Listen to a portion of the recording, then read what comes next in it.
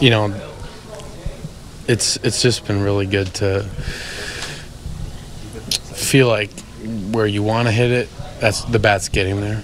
You know what I mean? Um, instead of you know, kind of more in here, it's it's out there. That's where the damage is, and so. Um, I know that I'm, I'm not like a crazy home run hitter or going to hit for superpower, but I mean, I've I think throughout my um, career, I've been able to consistently hit, you know, for um, gap to gap stuff like that, and um, that's kind of the what you have to do in order to help the team win, really, you know, and be a be a productive offensive player. So, um, just being able to get back to who I am and not really um, have to worry about is my swing actually going to produce the results that I want versus now, all right, I know my swing's going to produce the results I want, just get a good pitch. And that's one of my best strengths. So um, it makes it really simple for me and um, gives you a lot of confidence walking up to the plate.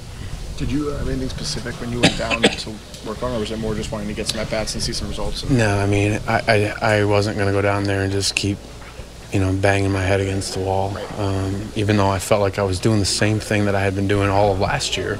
You know, sometimes your feels change, and um, you know, whenever you have a sample size like that, where you know you're just you you're forget about the hits, but your batted balls are just not up to your standards. Um, you got to make an adjustment. So yeah, I mean, I, I, lowered my hands a little bit. I wanted to make sure that I was um, kind of getting rid of. There was it seemed like there was just a little bit of a hitch, um, so I wanted to get rid of that and just get the bat out front as fast as the best I could. You.